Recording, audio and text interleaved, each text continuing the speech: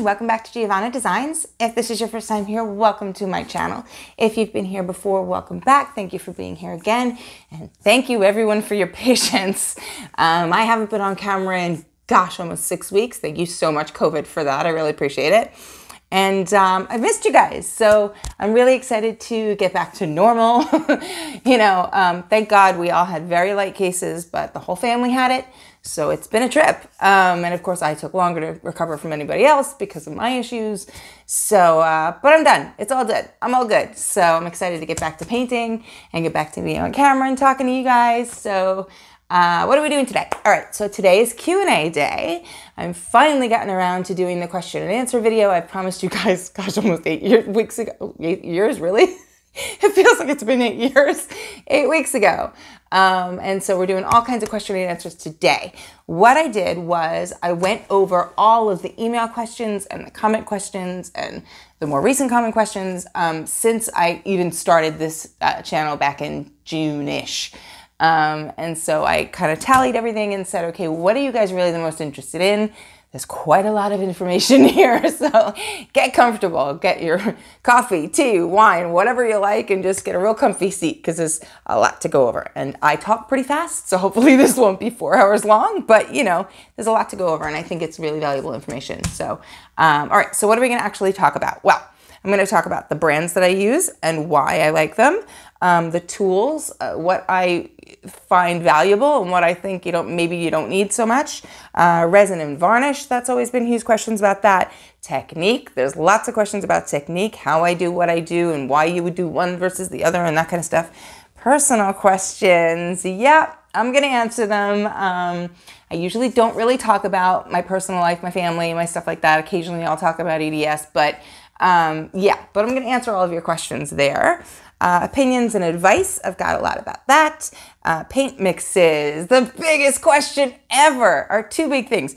What hair dryer do you use and what is your recipe? So we're gonna go over the recipes, plural, that I use and why I use them and what I use in, in each thing. And I'm gonna be very detailed. I'm not trying to be secretive at all, but they change. So I'll go over all that. And then YouTube. A lot of you had questions about YouTube. Um, I guess you're all interested in starting channels. So I mean, I'm gonna answer your questions about YouTube. So, all right, let's jump right into it. Okay, so all the brands I like and why I like them. I'm going to start this with a disclaimer. I'm going to tell you this right up front so that you hear it from my mouth. Yes, I am an affiliate of some of the brands that I love. Why am I an affiliate of some of the brands I love? Because I love them. I truly, truly love them. I believe in them. I will never, ever recommend something to you guys that I don't wholeheartedly, a thousand percent believe in or love. I won't tell you, hey, this is a great product, go buy it. And by the way, I get a commission for it. And you get it and you're like, what? What was you talking about? This is terrible. I don't ever want to do that. I feel like it's my integrity online there. Um, it's not my character to do that. This to me, this this channel is a two-way street. And I feel like it's it's got to benefit us both or, you know, it's not worth doing. So if I believe in a product, a lot, um, what I will do sometimes is contact them and ask them for an affiliation. And if they say yes, well, then fantastic. Um, and if not, I still love them and I'll still talk about them. but um, I won't ever talk about a company or a product that I don't truly love. Um, so, anyway, I just wanted to get that out of the way and let you know up front what that's all about. Okay, so speaking of which, resin. Stone Coat Resin, a thousand percent totally love them. And yes, I am an affiliate of them, but this is one of those companies where I fell in love with them first and then called them and said, hey, do you guys do affiliations with smaller channels? Because I really love you and I'd love to talk about you on camera if you're comfortable with that.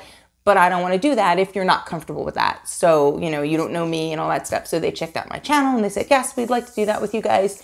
So I am going to actually be doing a resin video at some point. Um, going over the way that I resin my paintings. Now, that being said, I am not a resin expert by any means. I'm not a person who does like crafting and you know the coasters and the trays and stuff like that with resin although i'm going to get into that i'm really really curious to start doing that i just haven't had the time but um, i find that i've had just a very different experience with stone coat than with other resins. And when I first started using resin, I was using um, art resin and chaos resin. And I know a lot of other people swear by them. Um, I find them to be more cost effective. Yes, that's true. but to me, they were not worth the inconvenience. Um, Stone Coat, I'll talk about the positives of Stone Coat, not the other way around. Stone Coat is less sticky than other resins. Um, it's easier, it's a little thinner, so it's easier to mix. And for me, with my shoulder and my wrists, that's very important with my joints. Um, it has a longer working time and it's super easy to clean up. Baby wipes, your best friend. They're fantastic.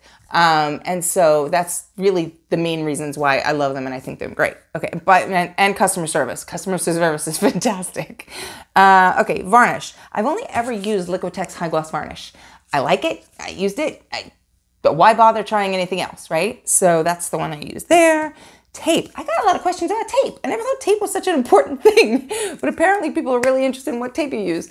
Um, again, it was in my house, and so I started using the 3M.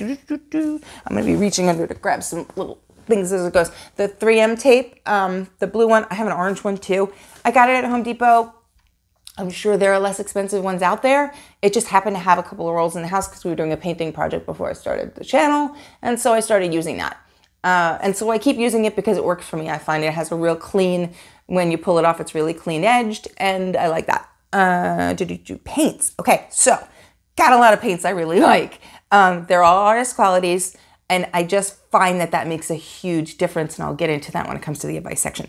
Pebeo Iridescent Studios, one of my favorites. I think it has a beautiful, beautiful finish uh, when it's dry. Arteza and Arteza Pearls. I love their pearl collection. I think that they have a lot of variety in their colors um, and subtle differences in their colors. And it's just, again, a really, really pretty finish. It's not a full metallic, but it's a really pretty pearl. And I like that a lot. Um, Deco Art, Extreme Sheen, by far, love them. They make some really cool effects when it comes to um, cells and chemical reactions with other paints. And so I like the Deco Art Extreme Sheen line. That's my favorite from them. Um, although they are going to send me some other, you know, new stuff that they have. I can't remember the name of it but there was one like a dragon egg kind of a it was really really cool looking. So they're going to send me that. I called them and i asked them if they wanted to do that. Um, amsterdam definitely. That's a classic for sure. Just a super super highly pigmented paint that's really creamy and really good. Liquitex is a classic.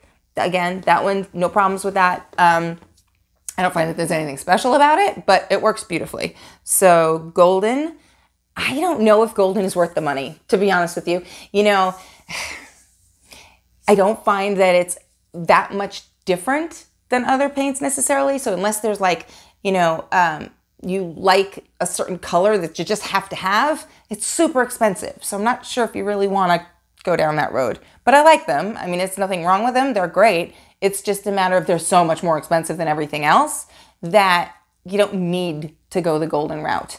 Uh, and Modern Masters. That's been a recent um, find of mine that I know a lot of other you, you, guys are using it, but I just found them recently and I love them. I think they bought a whole line of them. I think I told you that.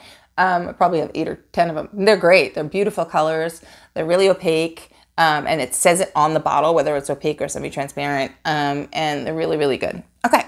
Uh, pigments. Come on now. You guys know I love Colourarte. Primary Elements is like my favorite thing in the whole world. They're super sparkly, they're super pretty, the colors really vibrant, they're just gorgeous, and I love them to death. Um, and Leslie is amazing as far as customer service is concerned. And yes, I'm an affiliate of Colourarte. Y'all know that. I put that on the bottom of every every you know video. I'll probably have it on the bottom right now underneath when I'm talking. But um, again, that's another one that I started using them first, and I contacted them. So you know, I truly believe that they are gorgeous, gorgeous pigments. Uh, okay, canvases. Michaels level three. If you want to get a, a splined canvas, that is the way to go for me. And now what does that mean? Okay, so I guess I'm pulling out my little trickster bags here. So splined means that your canvas around the back is not stapled here. You see where the staples go across a canvas? That's called a staple back. Splined means that there's a little piece of rubber, like a little rubber gasket, that is how the canvas is held to the wood is that there's a slit in the wood, the, um, the canvas goes in there, and then they put that rubber strip here, and that's what holds the canvas in place. So I really like those for pieces that I'm going to sell, unless somebody wants a museum, museum quality, sorry, I'm flubbing my words, museum quality piece. And in that regard, then I go to Blick, because Blick has the two and three eighths sides that are stapled back, but they're really high quality canvases and I like them a lot. So, um, so that's my canvases. And I think, oh, that's the other thing I wanted to say. If you're going to buy canvases in bulk, I like Artist Loft. Um, they do have the seven or 10 packs and they're really, really cost effective. Uh, so that's what I do there. Okay, on to tools. So, my hair dryer. What hair dryer do I use? I have the cheapest hair dryer on the planet, probably. Um, it's a no name, nothing brand, just because it's red, people think it's fancy. I don't know. It's called X Polyman, is the brand name. Never heard of it. Uh, I bought it off Amazon. Amazon's my best friend when it comes to shopping. I bought it off Amazon and I just wanted the shape of it more than anything else. It has a cool setting on it. Um, it has a low and high, which is important to me, versus the cool shot. There's a cool setting, so I don't have to hold it down with my finger, which is a problem for me. It's not a problem for 90% probably of, of anybody out there, but for me, it's an issue um, with my fingers. So, what I find though, it makes the difference with whatever hair dryer you're going to buy is not the hair dryer itself, as long as you get the right strength. This one's 1800, 1875 is more common. Um, and again, that's something you just get used to one versus the other, how fast, you know, the, the airflow is. But what makes the biggest difference is the concentrator, the nozzle here, and the shape of the nozzle. So now, for me, this one is completely parallel across the middle here, okay? And it's got a decent width to it. So what you want to do is to notice which one you're using, whether it's going to be parallel like this, or sometimes they balloon out in the middle. Sometimes it's a complete circle in the middle, and then it'll go to like an ellipse on the edges. That makes a difference when it comes to the airflow because that's now your air is going to be going in a thin stream across, which is what mine does, or it's going to be ballooning out in the middle, will make your paint move differently. No right or wrong to that. It's just personal preference. But that's the difference between hair dryers that makes such a difference in the way that people blow out their paints. Okay. Um, the torch. Again, it doesn't even have a name on it. It's just red. it's no fancy, super fancy thing. It's a culinary torch. You want to get a culinary torch. Um, and what made me choose this one is again, it's got a, a button on it that holds the torch down. So now once I light it, I hold that button down and now I don't have to hold it down with my finger constantly. The torch stays lit. So that's why I liked that one. Uh, my heat gun, where is it? Okay, here it is. Uh, I have it over here because I haven't done resin. Chandler brand. Again, I don't know that it makes a difference. Why I like this one specifically is because it doesn't have a handle like a hair dryer does. It's like, it's got no handle at all. And so for me, that's really comfortable when I'm working, you know, with it. Mm, cups. Okay, so here's a biggie for me. Um, I first started using Dixie cups because I thought, okay, well, they're the perfect size and I'm going to use a thousand of them. So I bought, I'm not kidding, a thousand of them, okay, in bulk pack. Well, uh, here's the problem I bought the ones that were just paper. And I thought I was being very environmentally conscious and thinking, okay, well, these are going to recycle better than the ones that are like lined with some sort of plastic lining on them. And the problem there is that they disintegrate when you stay wet too long. And so I go and I pour my paints in and I'm mixing and I'm stirring and I'm stirring and all of a sudden I'm stirring and my, you know, my stick is now going through the cup because it's now disintegrated as I'm working with it. So just be aware if you're going, now I have a thousand baby cups. If you're going to be using any kind of, you know, paper cup at all, make sure you're getting the ones that are lined with some sort of, you know, plastic lining to them so that that doesn't happen to you. What I do recommend that you buy is the little plastic cups. They come in a variety of sizes. They have one ounce, they have two and a half ounce, they have two ounce, I think. They have five and a half ounce. They're great. Sometimes they have four ounce even. Um, and those are called either shot glasses, sample cups, condiment cups, um, yeah, I think that's about it. Takeout cups, even. And uh, you can get them with the lids or you can get the lids separately. So if you are a person who notices that you go through a ton of them without ever saving paint, don't bother buying the ones with the lids. You can buy the lids separately, and that way, then you just have, you know, 100 lids and 400 cups, and, and that works out better for you financially. So just keep an eye on that one. Uh. Okay, so where to get, or the best place to get stir sticks, canvas panels, measuring cups, silicone spatulas, the dollar store. I don't personally, well, listen, every dollar store is different, right? The ones by me, I don't get my little cups there because they're like five for a dollar or 10 for a dollar. And it's not financially, you know, that doesn't make sense because I can go and get them on Amazon and hundreds of them for a couple of bucks. So for me, that doesn't make sense. But I know a lot of people do get their little cups at the dollar store, so see if they have them by you. Um, the canvas panels are like four for a dollar there, which I think are great, and they're pretty big. Um, stir sticks for sure. I get one or two hundred stir sticks, depending on the size of the stir stick, for a buck. They're great. Uh, and then measuring cups. Yeah, I mean, I got it's stuck to the table. I, I resined last night and it's not completely, you know, dry yet. So, I mean, this guy was a buck and this is going to peel right off of here. The resin's going to come right out of it. And then I'm going to use that a thousand times over. So that's great. And then where's the silicone spatula? Did I want to? No. Do I have it? No, I don't. Yes, I do. This guy, this is what I'm talking about. This is great for a bunch of different things. This is great for because everything just peels right off of it or wash, washes off of it. So you can use this for mixing resin. I love to use this as a catalyst wedge. I think this is great, you know, to actually paint with this. Um, and I have, so I have a bunch of those. Screws. Hmm.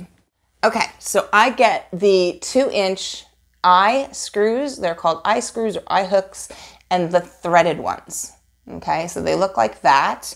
And these, what I do with these is they go straight into the back of the canvas right in the corner. So right where this wood meets the, um, the canvas and there's the spline is right there, they go right in there and I just screw them in. That way I don't have to, um, to hammer them in. So that's why I use the screws and not the pins.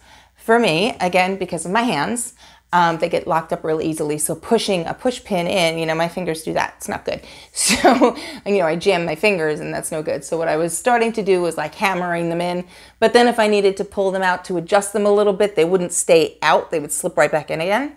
So with the screws, once they're in place, I can unscrew one a little bit, screw another one in tighter until my piece is perfectly level. So that's why I do that. On to the next subject. Can you tell that I'm trying to be really quick about this? the last, okay, so backstory. I recorded this video twice now with problems with my camera. The first time, I didn't know what was going on. I thought it was a glitch in my editing system. And so I canceled that entire video out and redid it. And it, it, ends up that something happened. My phone had an update, which made the camera record in 8K. And if any of you know anything about video recording, I didn't even notice it was happening. But um, yeah, so the editing software doesn't support that. And so I couldn't use those videos. They were scrapped. So this is the third time I'm doing this. So I kind of know what I want to say. And I'm trying to get it out real quick because the other two are super long. Okay, so can you resin over varnish? Yes, you can. And you don't have to do anything to resin over varnish. You just go for it. Now, why would you want to resin over varnish? Well, you have a piece that's varnished already and your client calls and says, I love it, but I want it resined. Okay, no problem. Resin right over it. Uh, do you sand between coats of resin? Yes and no, depending on time frame. If I have a piece that I have resined and it's been sitting around for three weeks and I want to do the second coat, yes, definitely. What you want to do is a very light sanding of the whole top just so that the two pieces will adhere together very similarly to when you get acrylic nails and you have to sand down your nail beds because they're too smooth and then the glue will actually adhere to it. It's the same thing. So you want the two layers of resin to adhere to each other really well.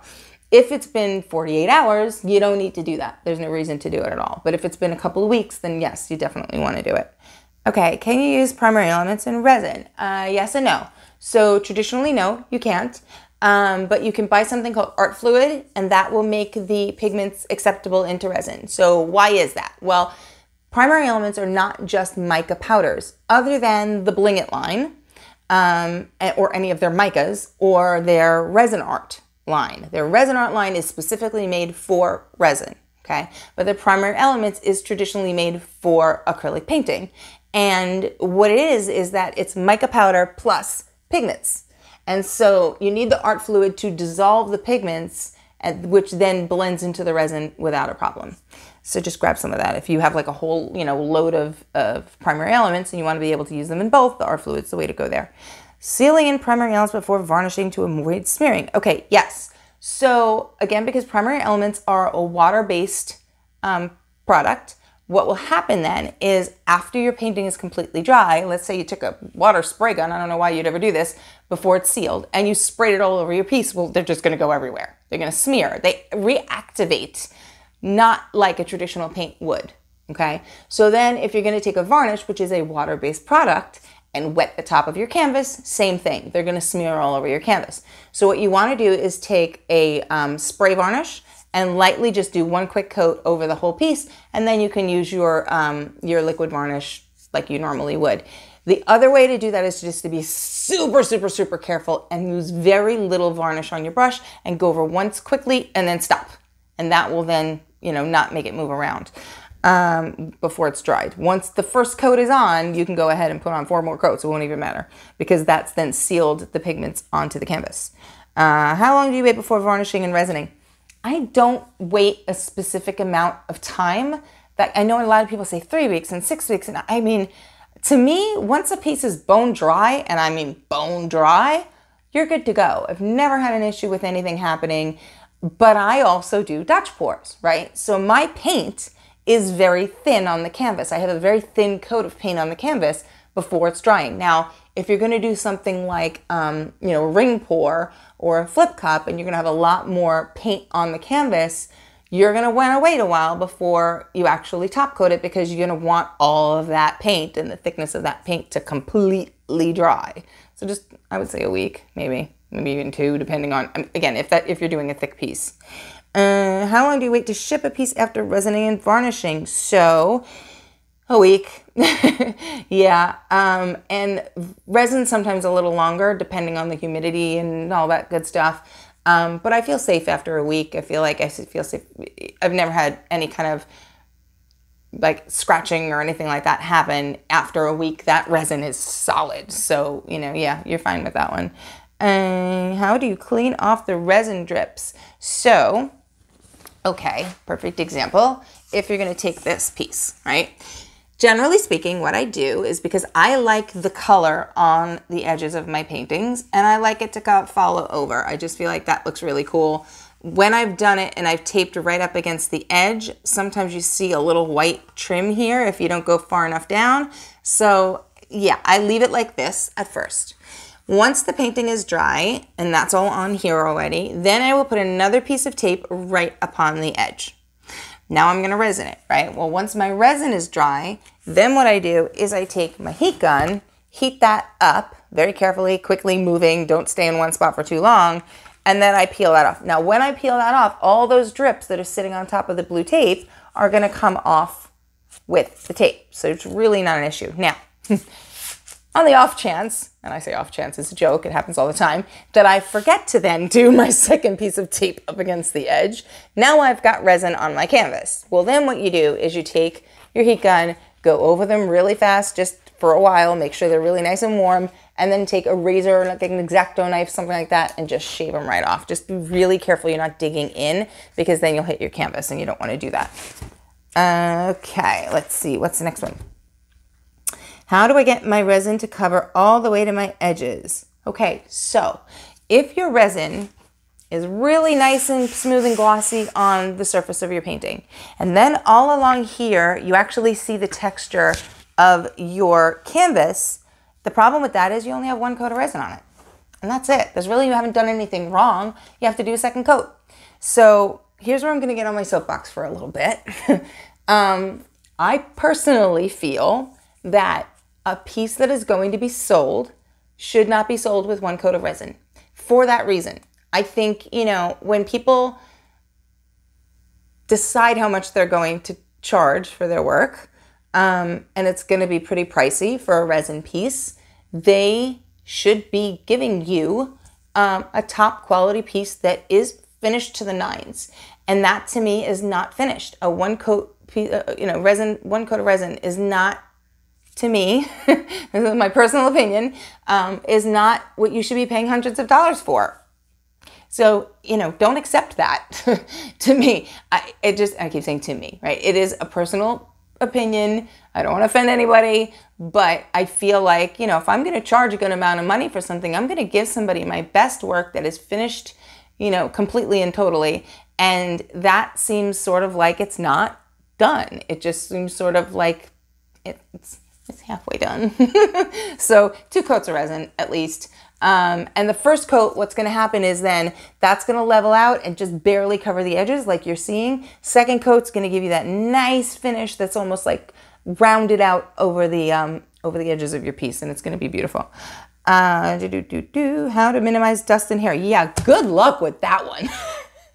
if you could figure out a way to reduce the dust and the hair in your resin, I would love to know it. Um, in all honesty, I've tried a lot of things. So spraying water, um, taking a spray bottle and like spritzing the air with water before you start using, you know, before you start mixing, it helps. That helps a little bit. Everything's kind of like baby steps, right? There's no one magic answer to this, but everything helps a little bit. I have a um, an air filter that's right by me while I'm working. I also don't shoot me on this one. I don't use a respirator. Um, so I have the air filter to me. It, all of the smell and the, the fumes and stuff go into the air filter. Uh, but does it help with dust and, and, you know, I don't have hair in my house, honestly. But I mean, I got hair all over the place with my three girls, but I don't have any hair in this room or any, you know, cat dander or anything like that floating in the air. But, um, but dust, yeah, there's always dust. There's no way to avoid that. And I don't know how much it helps with that so much. Um, I think the best advice I have is make sure that everything's clean before you start. Take your cup. This is a big one, right? Take your cup and rinse it out and dry it out with a dust-free cloth. That's a biggie because if there's anything in the cup, you're going to pour your resin in it. You're going to start to mix it up. It's going to be now in your resin, right? Um, so do that. Take a dust-free cloth, mo- moisten it just a tiniest bit, and go over your piece really, really well with it before. Now be careful again, like I said about the primary elements. Don't want to wet them. So be careful of that. But just if you're going to go over it with an ever so slightly damp cloth, that's not going to reactivate anything. But do that before you start. The biggest thing is get a light source right upside where you're working and look down on an angle at your piece as you're doing it and to be able to pull them out with a tweezer and just get a really, really great tweezer. And that's kind of the way to go. I mean, it's really the only way to do it. And then last but not least, can you use alcohol spray to minimize bubbles instead of a torch? so yes and no. Um, yes, you can. I will never do that. Now, story time. Um, here's the Javon is an idiot story time, okay? I decided as a genius move, and this is why I will never do it. Um, you know, I clean up with alcohol along the way, and I always have just a little bit of resin left in the cup. And so I decided to kind of play around because, like I said, I haven't done like the coasters and the trays yet, but I'm I want to build up to that and I want to get more experienced with what I'm playing with and and that stuff. And so I thought at the end, okay, well, I have like a good ounce there. That would be a really cute um, like coaster, right? So if I can get that and then I could pull it out of the container, that would be cute. So I want to color it. So I took my pigments and I dissolved them in alcohol. You can see where this is going, right? And I dissolved them in alcohol before I put them into the resin and mixed in beautifully. It was so pretty. And then I saw some bubbles. And genius over here decided, okay, I'll just torch the bubbles away. Well, I had just poured alcohol into the resin. It wasn't the resin that was the problem, it was the alcohol. So I go with my torch and I just went real quick to try to kill the bubbles that were sitting on the top. And what happened? The dang thing went on fire. Never again. will I put alcohol anywhere near resin in any way just because, you know, I don't think that far ahead of things. Sometimes I'm just in the zone and I'm not using my common sense and it just went out right out the window. So please, please, whenever using torch, keep a fire extinguisher nearby in case you make a dum dum move like I just did. So anyway, moving right along. I hope you had a good giggle at that one. So, okay, technique. How do you do what you do and why? So, how do you control your hair dryer while blowing? So, I don't know if you've noticed, but I don't hold my hair dryer the same way that a lot of other people do. Most other artists, I've noticed, keep their hair dryer upside down and they blow with the nozzle, and I can't twist it, sideways. Okay? And they blow this way and that way and they move it. That's very uncomfortable for my wrist. So, what I do to keep, and the reason why I think they do it upside down is to keep the cord out of the way. So what I do is I take the cord, I wrap it around my arm, and I hold my hair dryer sideways. So now my nozzle is in the same position, my dryer is out of the way, and it's more comfortable for my wrist to then go like this, side to side like a snake. Um, I also then hold the hair dryer really high up, go down and out.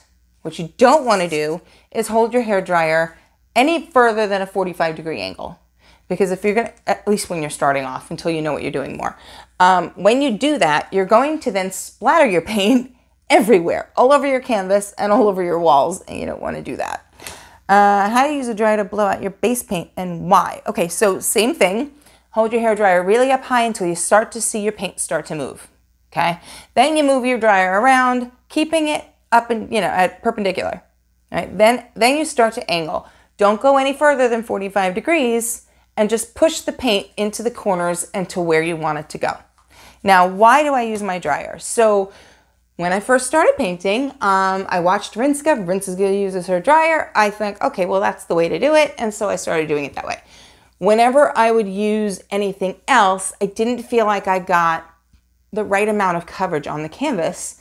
Um, so I just made kind of my goal to become comfortable with using the dryer. I mean, you're using your dryer for everything else anyway with the Dutch pour, so why not blow out your base paint with it? So, how do you stop the paint from spreading as it dries, and why does it do that? Okay, so to that end, um, if you're going to use something other than your dryer or tilting to spread your base paint, you are probably ending up with a lot of paint on the canvas, too much paint on the canvas. And if you do that, then what happens is you're putting a lot of paint on your base, then you're putting on a lot of paint on the top, then you're leaving it alone. Well, paint is going to self level and it's going to self level off your canvas and onto your table, right? So you need less paint on your canvas, bottom line. Again, that's why I use the dryer. Just how much do you put on the canvas? If you're going to take whatever method you're going to use to spread it around, if you then take your canvas and you tilt it and you notice the paint's running like crazy, you have too much on there, okay? Um, if you also notice that it doesn't move at all, you have too little on there. So just keep that in mind. How do you prevent cracking? Okay, so there's a couple different reasons why cracking happens to begin with. Either your paint is too thick, you have too much paint on the canvas, there's some sort of airflow in the room, like a fan, or your heat or your air conditioning is on and it's blowing on your piece, um, or you have a window open and it's blowing on your piece, uh, or it's too hot in the room. I don't know about too cold in the room. I've never had that be an issue, but too hot is definitely an issue. Um, and so, how do we avoid that from happening? Well, the reasons why your paint is cracking is because the very, very, very top surface level of whatever amount of paint you have on there is drying first. That's drying, and then the wet paint underneath it needs air to dry, and so it cracks and the air goes to get to this bottom paint. The air is trying to get to the bottom paint, and that's what ne- needs to crack in order to do that because this bottom paint needs air. So it's making the top crack almost similarly to when, if you've ever seen those videos of hot lava and it hits the water and how it, you know, it becomes a rock, it cracks, and then the lava comes straight through, and that becomes a rock and cracks, and then the lava comes straight through that, and it comes along. Same thing. Your top layer is like a crust that's cracking in order to let the bottom layer get the air. Okay, so you want to make sure that your paint is not too thick and there's no airflow in the room because then if your fan is blowing on it, even if it's a decent temperature, the fan is, is drying that top layer. Okay. Um, how do you prep your canvases and how do you finish your canvases? Do you use hardware? So I showed you how to prep my canvas with the tape on the back and the screws. Okay. How do I finish them? The only thing that I do that's special if for um, for finishing is if I have a colored base paint, if I have like one of the iridescents or you know a real dark paint or something, what I will do is I will paint this white layer um, here, this white border of canvas. I'll paint that while this is still on here. So I'll resin it, peel the tape off the resin, paint that area here, that solid color, because I think it just looks really nicely finished, and then take the whole thing off, and this is a nice clean wood. Uh, do I use hardware? No, I don't. So the reason why, again, I'm just going to keep using this as an example. The reason why is that if you're going to put those um, hooks on with the teeth, right? Well, and I'm being very exaggerating here. The top part of your canvas is going to sit off the wall and the bottom part is going to hit the wall. And that sort of makes your canvas on a very slight angle. I don't know. I don't think it's necessary because I'm selling the level three. I'm using it with a real thick wood layer. I just tell people put two uh, nails in your wall at equal distance and this will sit on them perfectly. Just make sure they're level and don't make them too, you know, thick because you don't want them to go through the canvas. Um, but that's kind of, it's that's supportive enough. You don't need anything else. You could put that wire, again, why bother? I've no, I've always found that the wire just, you have a hard time balancing it. If you put one nail in the wall, forget it. It's always tilted a little bit one way or the other. And if you're gonna put two nails in the wall anyway, why bother with the wire? You're gonna just, you know, hang the, the frame directly on them. So, no, it's next. I lost my place. Hmm, how do you know if a paint is opaque or transparent? Okay, all right, let me grab that bottle. So, every paint bottle is going to have or should have it somewhere on the actual bottle where it says opaque, semi-transparent, transparent, light fastness, one of those things. On like this bottle, for example, on the very front, it has this little square, right? And on the back, it has the same thing, the little square, and then it says opaque next to it, okay? If the little square on your bottle is filled in, that means it's opaque. Sometimes they'll have plus signs next to it. Um, and you can look up on each one of their websites what exactly their code means and how you can judge how light fast or how semi-transparent that is. What does it mean to be opaque? I got this uh, question recently. Opaque just means that the light can't pass through it at all. So if you've got an opaque base paint and you've got a semi-transparent top paint, your top paint could if you got a very dark one, like somebody on one of the websites had on, on the Facebook page had a black base paint and a red top coat, and the red top coat was semi-transparent. Well, then it sort of as it's drying, it's disappearing, and she's going, I don't understand what's going on with my paint. You need opaque on top of opaque. So now a lot of people will layer them differently because of that. Um, why it matters? Yes, it does matter. In your, it will affect your final product for sure. So just keep that in mind. So how do you layer color? Okay, I just said it. How do you layer colors? So if you have colors that you know are semi-transparent or transparent and you have opaques, yes, you want to layer them on top of each other differently than it depends on the effect you want, honestly. You can have four opaque colors on top of each other and four transparents on top of each color. The transparents will blend differently, and I think that's just personal preference, and it depends on what look you're going for. And how do you pick your colors? Okay, so this is a big one. Um, and I want to do a little pet peeve moment here for a second. So I have an art background. I'm very color sensitive. And so I honestly just kind of do it by feel. I do it by instinct. I decide, you know what, I want to do something blue today. So I'll grab my blue and then I'll grab a different one. I'll grab four different colors and I'll look at them together and go, yeah, no, I don't want to do that. And then I'll change it again and look at it. No, I'm not sure about that. And then if I'm really, you know, if I have a client who's really requesting specific colors I'm not sure about, I will do a test run, which is what I use the canvas panels for, or I'll use a six by six um, ceramic tile. I'll do a little tiny puddle pour on it and blend them and see how they mix. Sometimes I'll just blend them with a stick and see how they work together. If I don't like it, I'll make a change, I'll make a suggestion or whatever. If I'm not sure, but I love the colors, I'll layer them differently and sort of play with them that way. Here's why I mentioned about the pet peeve. So I know a lot of you use Pinterest to get color schemes, and there is nothing wrong with that. That's great. But keep this in mind if you're looking at the, the way Pinterest works when it comes to color schemes is they'll show you a photograph or a painting, usually a photograph, and then the colors on the side as to this is what you see in this photograph of a beautiful flower, right? Now, what they're not taking into consideration is a photograph is very different than paint pouring, okay? So colors that look gorgeous right up against each other in a photograph will blend horribly when you paint pour them. So just keep in mind when you're looking for color schemes, how they're gonna blend together, not just how they look in that pretty picture, okay? So just take that into consideration when you're thinking about how, you know, the color scheme to work with. Uh, but it, Pinterest is a great place to find color schemes, but just take that, keep that in mind. Okay, why do you flood or blow your paint over? So, okay, I learned from Rinske, like I said, and you know, that's what she does, so that's what I started doing couple months after I started doing that, um, a few artists stopped doing the flooding um, and the blowing over. And personal preference, I like it that way. I like the blending of colors and the softening of colors that happens when you blow over and you flood. Now, it's personal preference. They don't like that. I don't necessarily like it when it's not done. When the colors aren't blended at all first before you blow them out Sometimes you get these real thick bars of color that are left behind that didn't blend together. And that's just not my look. It's just not my style. It's no offense to anybody out there, but that's just not the way I do it. So that's why I do my, my flooding and my blowing over. Uh, how do you price your work? Oh, what a loaded question. Okay, so I think every YouTube artist asks this question, and everybody on you know Facebook asks this question um, on the Facebook groups. So there is a chart out there. I'm sure you've all seen it.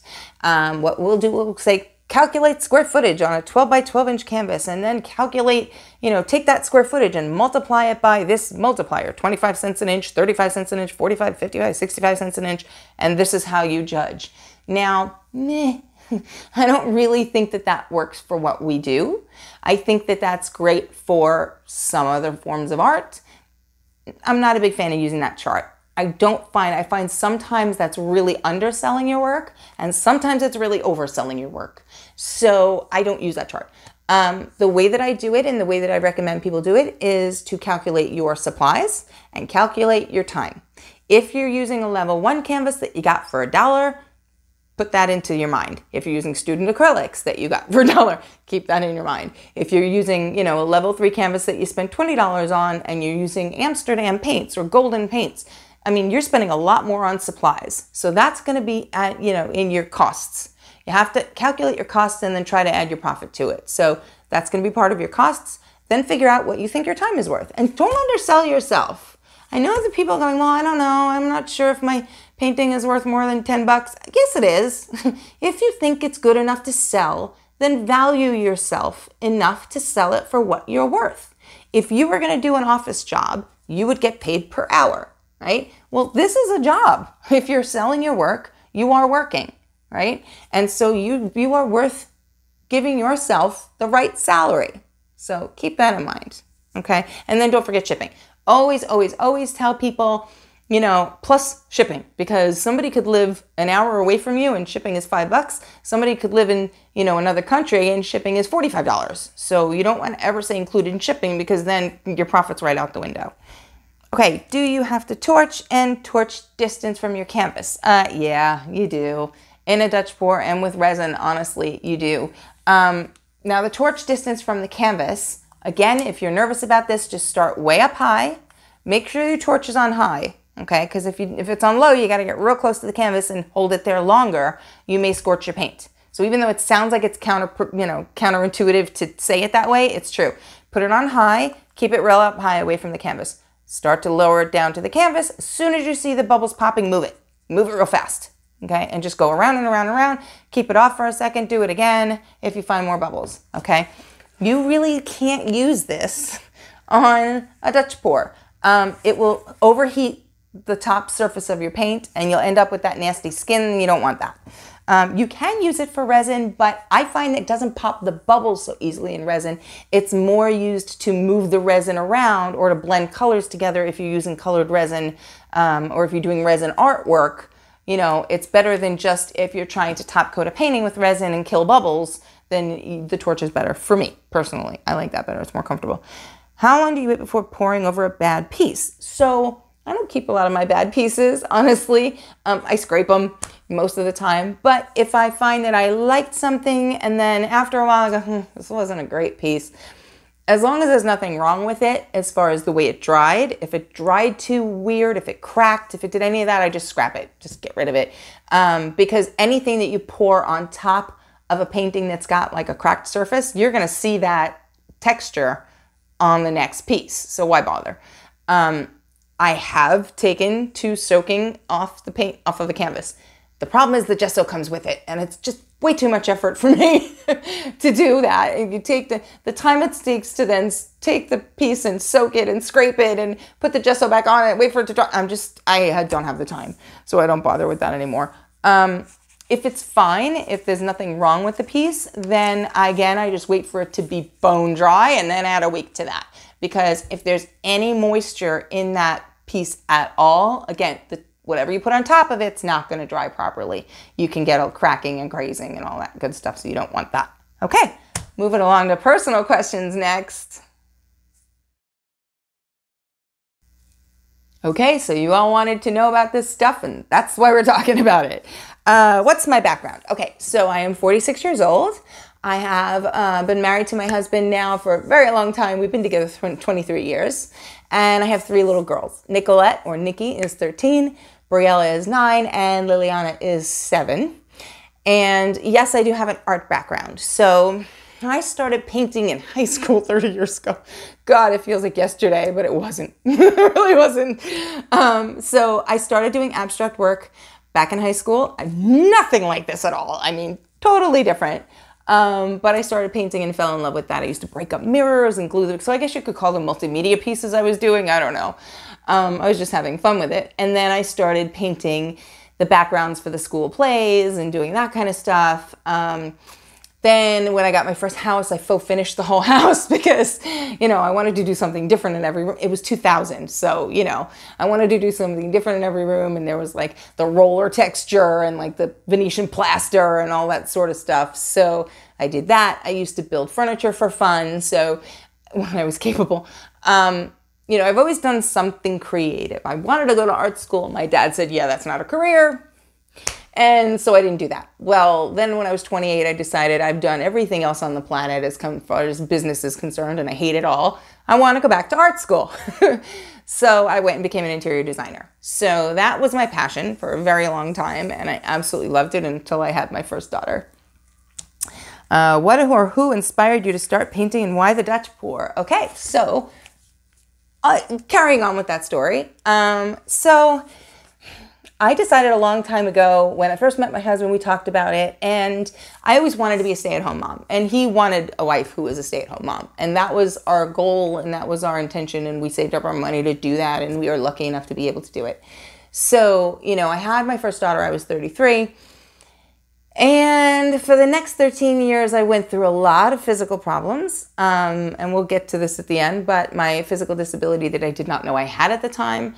Um, got worse with every pregnancy and I've had three kids now. So I was on bed rest for five months with each kids. There was tons of surgeries in my 30s, nightmare time. Um, and I had these little kids to take care of. So my identity really became, you know, wife, mother, disabled woman.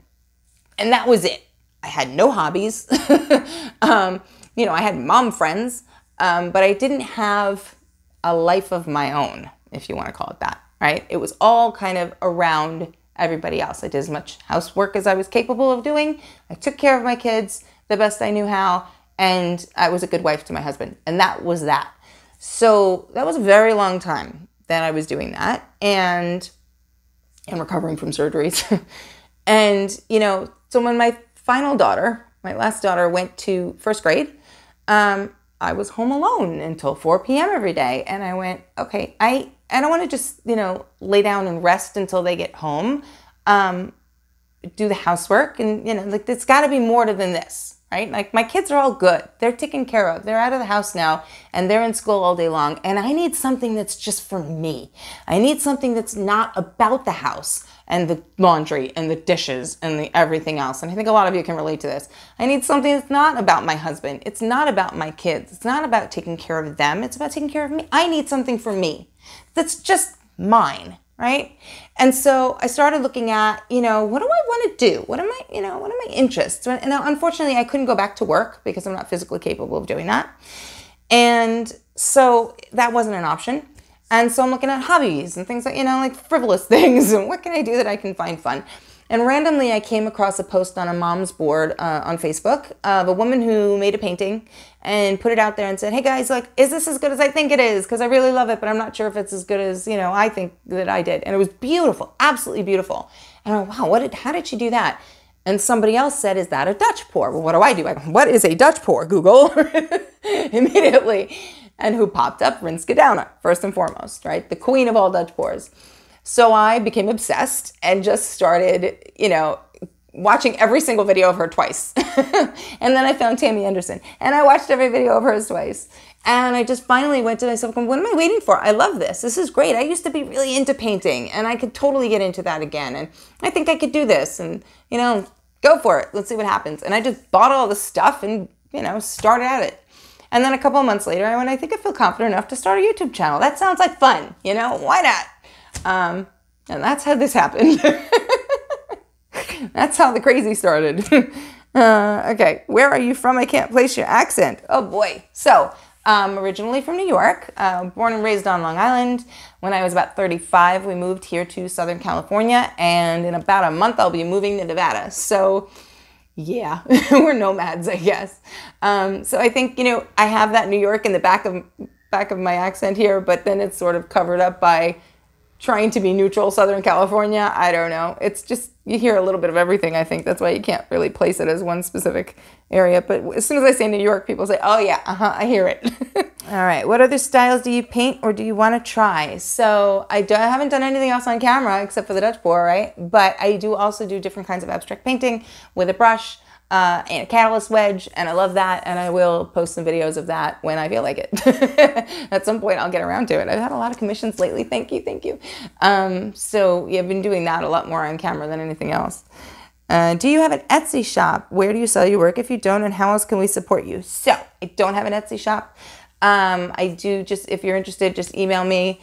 Um, I post that on my videos, and I have my all my work posted on Instagram for people to see there. So if you want to commission a piece, you go on Instagram and see the different styles that I have. Pick one of those styles, and then we talk about colors and all that good stuff. We email back and forth.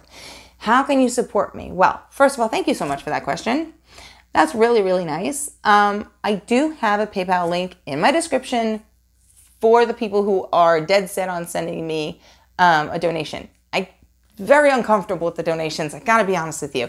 I'm just, I'm in an okay position in my life. I don't feel like I need to take money from people, you know, even though it's so sweet and so incredibly nice of people to do that.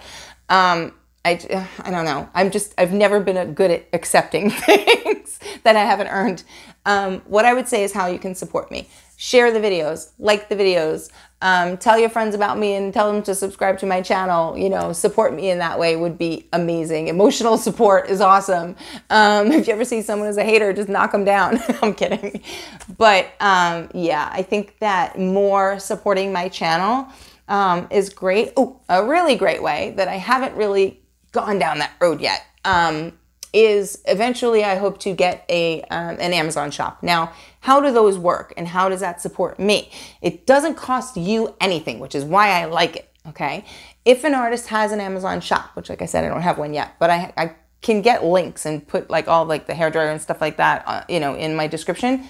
Um, what happens then is that if you go into Amazon through one of those links, through someone's shop link or through a link that they put into their description, that then opens Amazon up. You shop for anything in the world. You can say, you know, I'm going into the link, you know, that's for this for the for the heat gun, but I don't want a heat gun today. I just want to use your link. You can go into Amazon through the link of anything. You can go buy toilet paper, paper towels, and you know a T-shirt, and not buy anything art related.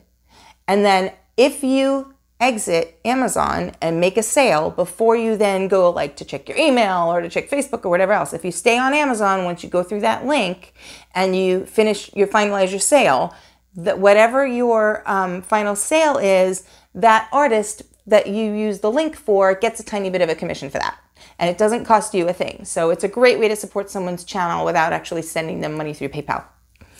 Uh, okay. What do you do? You paint with your kids, and do you have videos with them? So of course I paint with my kids. Um, absolutely paint with my kids. Do I have videos with them? No, I don't. And uh, the next following question was, do they have their own channels? No, they don't. I have three little girls. I'm really careful about putting them on camera. I just, it makes me uncomfortable. Um, they would love to be on camera with me. Maybe someday I'll do a video with them, you know, if anybody's interested in that. But um, finding you know more about my family. I don't know if that's a kind of a personal thing, but for them to have their own channels, I just feel like it's exposing them out there. I, I, mm-hmm. again, I just it's little girls. I'm very sensitive to that and a little nervous of who watches those videos. You know what I mean? Do adult men watch those videos? I just, I don't know. It's that mama bear in me that just goes, mm, maybe not. They don't need to do that. You know, they don't need money. they don't need to, I think, value themselves on the likes and the stuff like that so much. So it's just something that makes me uncomfortable. I don't know. It's a personal thing. It gives me the little heebie jeebies. Uh, do you have a Facebook group? No, I don't. Uh, I don't feel like I can add anything to a Facebook group that anybody else doesn't already have out there. So I don't feel like I have the time to do any kind of a Facebook group. And if I don't have anything unique to add, then I don't feel like it's the right thing to do. Okay, what is your disability and how does it affect your life? Okay, that's a biggie. So, I talked about it once before briefly. Um, I have a genetic disorder called Ehlers-Danlos syndrome, hypermobility type 3, or hypermobile Ehlers-Danlos syndrome. So there's 13 different types. It is a rare genetic disorder affecting 1 in 5,000 people to 1 in 25,000 people. It is very often misdiagnosed and not understood very well. Uh, and what it does is that my body creates faulty collagen. Now, who cares, right? Why does that matter? Well, collagen is not just for pretty skin, which is what we've all told collagen creams and collagen supplements will make you beautiful, right? Well, no, collagen is the building blocks for your entire body. And so when me creating faulty collagen from the inside out, unfortunately, I can't just take a supplement and have that change anything for me. It won't affect me in any way. But what it does is it affects two body systems the worst for me. Now, everybody's different. There are some people that have it that live as contortionists, and that's a positive thing in their life because they've been making a living out of it. There are some people that are wheelchair bound and can't swallow anything and have an NG tube. So, you know, there's a wide range of how this affects people and how disabling it is. Um, so, for me, it affects two body systems the worst my spine and my muscles um, because of my connective tissue. Now, Again, the building blocks for everything, your connective tissue, the purpose of your connective tissue is to hold your body upright and strong and together. And mine is like loosey goosey and does not do that. It doesn't do its function.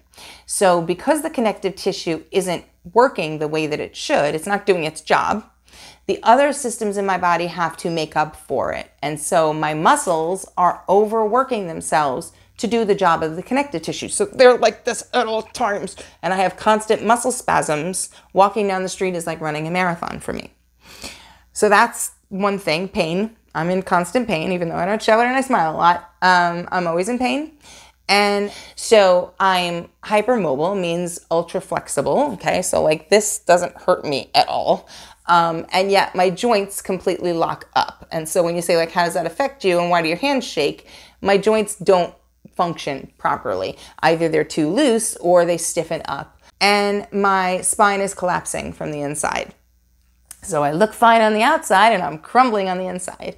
Um, so far, I've had 28 surgeries, nine of which have been spine surgeries, and I need another biggie, the worst one yet, which I'm trying to avoid at all costs. Um, one of the things that I have wrong with me is called spinal stenosis. And what that means is that your spinal cord is like a giant electrical cord, okay? And it's supposed to sit in a tube that is round. Well, my tube is like this. So it's choking my spinal cord, which causes all kinds of pain and numbness down my arms. And my leg is numb about 50% of the way up to my mid thigh.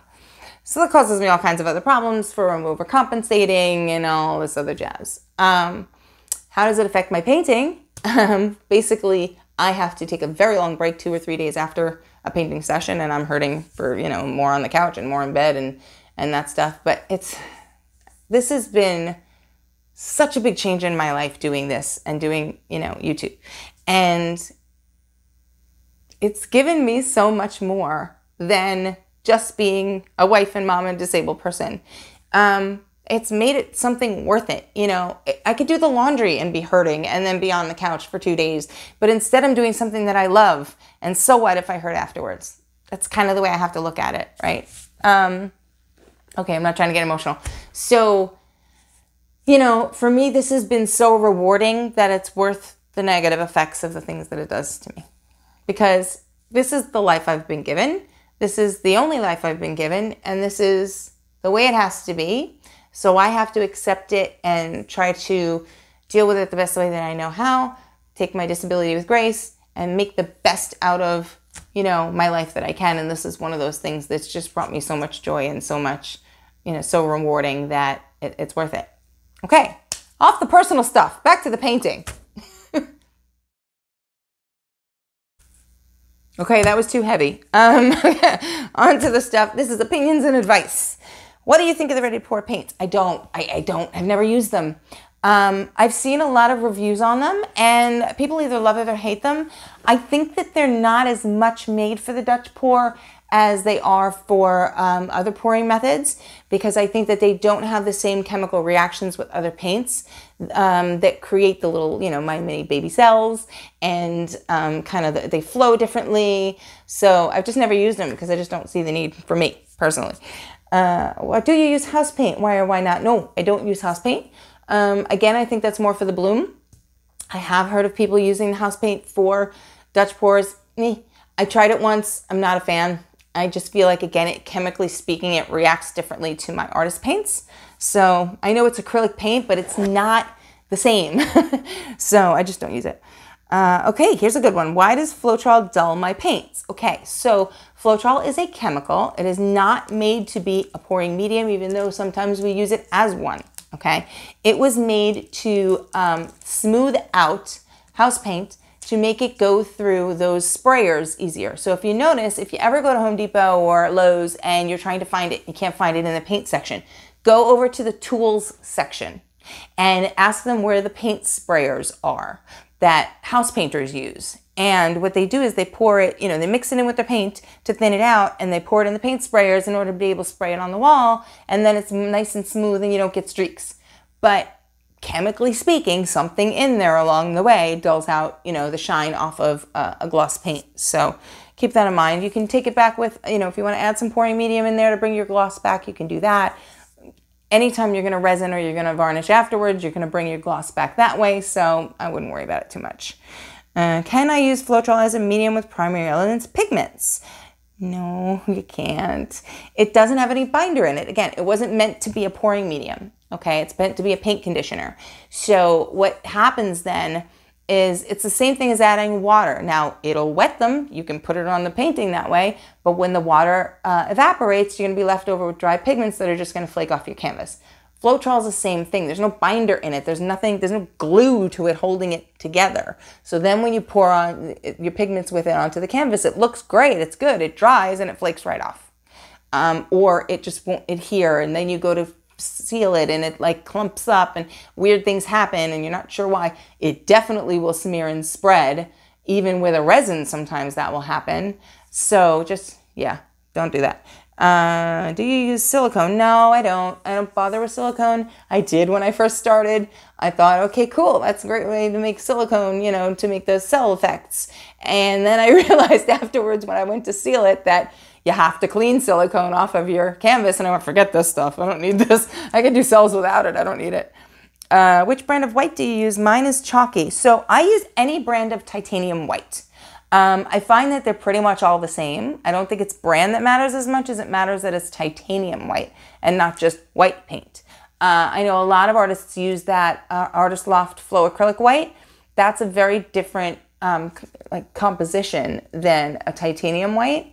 Um, and it has a different consistency. So I don't use that because I find that when then I mix it, it's a different mix and it's only, so yeah, I don't bother with that. Any kind of titanium white I like the effects of.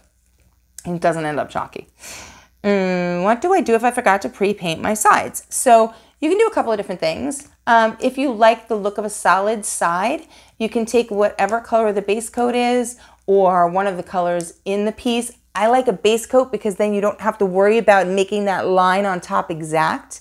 So let's say you have a painting like this one with a white background and color, and you're gonna try to then edge your trim with, you know, um, trim your ends, I should say, with this teal color, well, you got to be really careful about putting it up against this edge that you don't then, you know, make it wavy and line. And so what I would do there, anytime you're going to use tape and you're mixing two colors together, okay, I would take the tape, put it over the area, put a sealer coat, if you want to call it that, of a clear paint, and then put your colored paint because then it won't seep underneath. Anything that seeps underneath the tape is going to be the clear coat.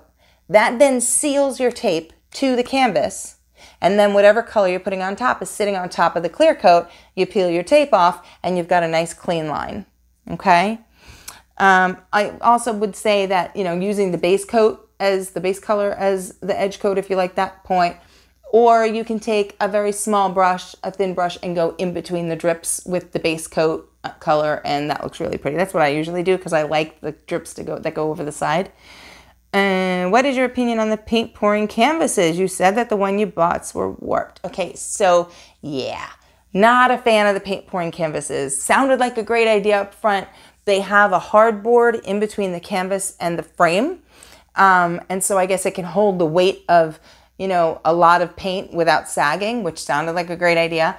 But the problem is that for me, the canvases are much thinner and not as the quality is not as good uh, of the canvas itself. So the problem then was when it was warped, now, well, it's warped on top of the hardboard. I can't just spray the back and make the canvas tighten up that way. So either I have to spray the front and hope that nothing happens to the gesso and that that's not affected in any way, um, or I have to like pull the whole thing apart and retension it, and it's just not worth it. Uh, okay, on to paint mixes. And here is the moment you've all been waiting for. what is my recipe and how many different recipes do I have? So, in my bottles of paint, I generally have one recipe. Now, why have I never talked about it? Why do I not say, well, you know, I'm using this and this and this? So, I have a mix of a lot of different ways of doing things. And I don't have one, I'm really not good at like being super precise on stuff. And I'm more of like, you know how people say like I'm a cook versus a baker, and there's a very big difference between the two. A cook just kind of goes by instinct, and a baker is like so precise on every little teaspoon of something or other. I'm a cook, not a baker. I go by eye. I go by, yeah, you know, throw a splash of this in there and see what happens. Um, I'm very kind of loosey goosey when it comes to my paint mixes. So I don't always know what's in my bottles. You know, I'm not always 100% sure on that. And I don't want to say to you guys, hey, this is what I'm using across the board because there is no across the board. There's a different one all the time. And I don't want to say this is what I used for this pouring, you know, for this for this piece if I'm not 100% sure on it because I don't want to mislead anybody. Generally speaking though, the paints in my bottles are one specific recipe. And here we go. Got a pencil? Okay. I'm going to talk in parts because part could mean anything. Parts can be ounces, parts can be grams, parts can be milliliters, parts can be this cup, you know, that I don't know the size of, but I know how big this cup is. It could be anything, okay? As long as you're being consistent and you're not saying, okay, I'm gonna use a gram of this and a milliliter of that. And I mean, that'll make you crazy. What you wanna do is make it consistent across the board. If somebody's giving you a recipe of things that are not the same uh, measuring in a uh, level, what you want to do is go onto Google and just do a translator from grams to milliliters or milliliters to ounces or whatever. Make sure everything's the same, and then you can figure it out from there. As far as if somebody's got a recipe and you want to follow the recipe, but they have four different, you know, mixing methods, do that. Just Google. um, okay, so what do I use? I generally use two parts of Floetrol, one part of paint, three quarters to one part of water, and a splash of pouring medium.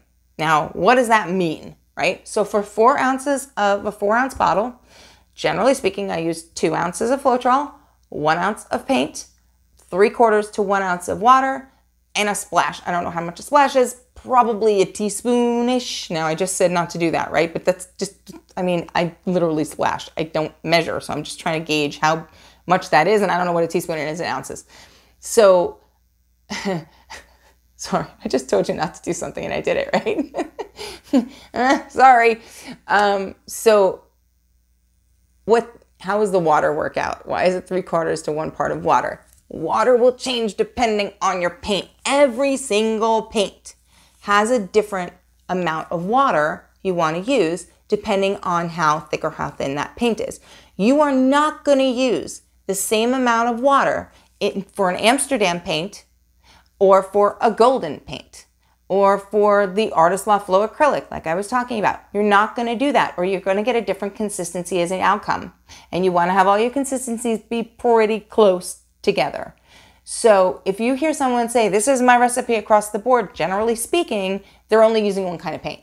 So they're only going to be using Liquitex, or they're only going to be using Liquitex in, in Amsterdam, or they're only going to be using one of the other because these things are different. There's also a difference in whether or not it's a metallic because the metallic is more dense of a paint than other paints are. Okay, so what you want to do, and this is what I generally do, is I mix my paints in a mixing cup and then I pour them in my bottles. I don't pour them in my bottle, shake them up and walk away. That then you don't know, you can't judge from a from a bottle how what your consistency is. And once you know your consistency and what you like and what works for you, you can see it. You know, you can tell by mixing it, but you can't see it in a bottle once it's mixed up. So what I do is I do it in a, in a cup first and then pour it into your bottle. Um, for primary elements, that depends on whether I'm using polypour or vivid enamel, um, but I generally using polypour, or vivid enamel, and water. Um, I don't really feel the need to use anything other than that. I do not use Floetrol with them. I will not use Floetrol with them. And whenever I mix them with a colored paint, what I do is I mix them with the Polypour or the Vivid Enamel, and depending on what I'm using it for, and then I take the bottle of paint straight from the bottle, not mixed with my bottled paint already. Am I saying that the right way? Not the bottles that have my paint mix of Floetrol and water in them already, but I take them straight from the bottle and I'll take a squirt of this and I'll squirt it into the container that's already mixed of the polypour or the vivid enamel. Then I blend that up and I add a little extra water to it because then I'm not in, into, um, introducing the Floetrol into the mix when it doesn't need to be there. Uh, okay, what is the cheapest pouring medium? Water. Water's the way to go. Rinske uses it. She's a classic. Um, you know, she ends up with beautiful work. Water's very different though. So just be aware, whatever you start off with, that if you flip over one way or the other, if you start with Floetrol and water and then you go to just water, the paint behaves differently. Okay, so just be aware of that um, when you're kind of just know that ahead of time that when you're mixing and when you're stirring and when you're trying to gauge um, consistency, it's very, very different. It will not flow off of the stick the same way. Um, it's a little more drippy, but that means it's the right consistency. So it's very hard to kind of tell someone you know, when you're using it, it's the easiest way to make sure that you're using the same consistency is to do a little sample squeeze. So what you want to do is take your bottles um, or take, you know, your cup with it mixed or whatever, put a nice drop, put a good sized drop onto a piece of paper. I use a, um, a tile. Um, you can use the, the hard boards, you know, the canvas boards, whatever it is. Take a drop of each one and put them side by side and then tilt and you'll see the way that they run down. And if they're the same, uh, if they're running at the same rate, you got the same consistency. If one's going really slow, one's going really fast, this one's much thinner, this one's much thicker. So adjust, you know, as you want. But you can see then, depending on, you know, if you're gonna, if you're used to one way with the Floetrol and water, and then you're flipping to water, but you're not sure about the the consistency, do the running test, and you'll see, okay, well, my other ones run real slow. These are running super fast, or vice versa. Uh, when do I use polypour versus enamel? Okay, go to video number 20. I got it all there. Everything's talked about there with the polypour and the enamel. Uh, where can I buy Vivid Enamel or Vivid, Polypour? Uh, only on the Colourarte website um, or Amazon. Now, Amazon's super convenient. Amazon is great. I love Amazon. Don't get me wrong. But you're not going to get my 20% discount or anyone's 20% discount, but mine because it's my channel. Um, you're not going to get the discount by going on Amazon. So just buy from the Colourarte website directly. Uh, what's the cheapest way to start out paint pouring? So here's the thing. Um, I don't believe in telling people to start with craft paints or inexpensive paints. And this is why. I'm not being a snob. I'm not saying, you know, I would say start with the less expensive canvases for sure. Even canvas boards, whatever you like. Um, do the tiles. Start with those. You can scrape those off and use those 40 different times. They'll never, you know, just wipe and wash them back off again. And, and here you go again. Um, start pouring that way. If you want to just practice, practice, practice before you jump to the good canvases, that's the way to do that. Here's why I'm telling you not to use um, artist, uh, only to use artist paints and not to use craft paints or student paints. Paint behaves differently, as I just said, okay? So if you're gonna get used to working with student grade acrylics or, you know, the craft paints and stuff like that, they're very, very thin. Your paint mix will be different, your recipe will be different, and the way that the paint flows and mixes with other paint is different.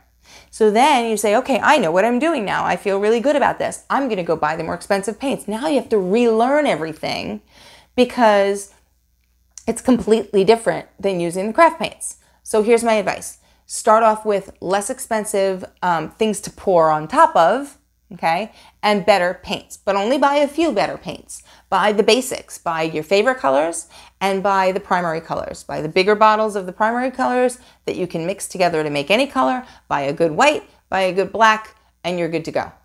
And that's it. And then you don't have to buy 50 paints You can buy just a few, but you can buy the good ones that you really get used to working with properly. And then, you know, when you go forward and you want to expand, then you're still working with the better stuff. Okay, next. All about YouTube. Okay, you guys want to start YouTube channels? Go for it. I fully support you. Let's start off saying that. Uh, why do you edit your videos and how? So I use a very simple editing app on my phone. Um, and I, look, I've tried. I've tried the really good movie level stuff. I tried the right cameras. I've tried the great. It was a disaster. It was an absolute disaster. For me, easier is better. Thankfully, this is not something I'm trying to create a movie with. And so, um, just recording on my phone and editing on my phone is the easiest way to do that. Why do I edit my videos though? Because I mess up. and because my my my paint pouring, see, I'm stumbling my words already. My paint pouring doesn't last two seconds. I mean, I take a long time stopping and looking and looking at it this way and that way and seeing, do I like this? Do I like that? Do I want to blow it this way? Do I want to blow it that way? And I mean, you know, to create a piece takes forever and that would be the most boring video on the planet. So yeah, I edit out the boring stuff. Um, I try to make it easier for you guys to watch that way and I flub my words, so I have to edit out things that I say. I mean, that's just honesty. Uh, is there a video of the big piece behind you? No, there's not. This gorgeous piece that I love so much. It is available for sale though. Um, I love it. I love it, love it, love it. It's three feet by three feet. It's the biggest piece that I've ever made, but it was made before I started my channel. So I don't have a video of it, unfortunately. What's funny was after I did um, make it, I you know I really should have recorded that because I was thinking of starting a channel and I just hadn't decided whether I was going to do it or not yet. And I kind of kicked myself for not recording it, you know, and thinking, well, I could do something with it later, but it is what it is. I am planning on for my 5,000 subscribers because um, I'm going to get there. I have faith. Um, I'm planning on doing a really big piece there too. I'm either going to do a three feet by three feet or a four foot by four foot. So let me know what you guys think on that one. But I'm going to attack the big guy. Yeah, for sure. That's the way to go. Uh, how did you get brave enough to start a YouTube channel? Okay, so here's the thing. Um, and this also also followed up by the last question, best advice for a new YouTuber. I'm going to combine the two, okay? Best advice for a new YouTuber, research, research, research. Um, go onto YouTube and research about YouTubers. Um, there's a ton of people out there that are really great at talking about the business of YouTube, how to start your channel, um, how to incorporate yourself, uh, how to grow your channel, and, and how to promote yourself, and all that good stuff. So research the living heck out of it. Um, just realize that it's going to take a lot of time, a lot of time. So make sure that you have the time for this because you don't want it to be frustrating. You want it to be fun, right? So make sure you have the time in your life for it. Make sure that you have the patience and you're not expecting it to grow overnight. And make sure you're willing to put in the effort because it does take a lot of effort as far as recording, editing, posting all your stuff, um, answering comments, you know, all of that, and, and scheduling things. Um, my best advice for a new YouTuber is really just to go for it. I don't know. I think that bravery is a big thing. Fearless. I wore this shirt for a reason. Be fearless. You know what? What's the worst that can happen? This is the way I look at everything in life, right? What's the worst that can happen?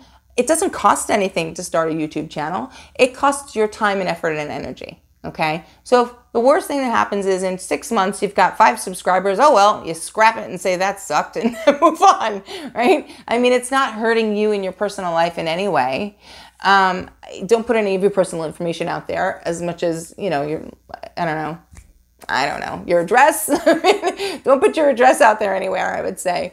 Um, but again, for your address, what's going to happen? Are you going to have people knocking down your door going, I hated that video? No, it's not going to happen. So, I mean, I just kind of take it with a grain of salt if it doesn't work out the way that you want it to and hope for the best because if it does work out the way you want it to, it can be a really great experience. Um, and I want to wrap it up with that. Uh, I want to thank everybody for this experience. Um, YouTube has been an incredibly validating, incredibly wonderful experience for me overall. Um, I've had two haters out there, and you know what? You're going to have some haters it is what it is. Who cares? You got to roll it off your back. Um, one woman actually said she couldn't stand my voice. why are you here then? why are you watching me if you don't like my voice? I don't know. It's those things that you go, what am I supposed to do with that? Change my voice? I mean, I'm not going to change anything about me because you don't like me. So then just move it on along, lady. Um, you know, you can't take those people seriously. You just, but on the flip side of that, the people that are loving and sweet and kind and wonderful, there's so many more of those than the idiots out there that you just have to kind of like focus on that, focus on the good. And to me, this has been a wonderful experience. I hope it will be for you. Let me know when you start your channel, um, and I will totally support you. And I want to thank everybody for all of your unbelievable support for me over the last six, seven months. It's been wonderful. It's been validating. It's been just really ego boosting, um, and and I, it really has changed my life for the better. So I want to thank you all for that. Thank you for being here tonight, for sticking with me this long. This has been a very long video, I know, but I hope that you found it useful and I hope that you found it valuable. And that is it for me for tonight. Thank you all, everybody, for being here. Have a great night, guys.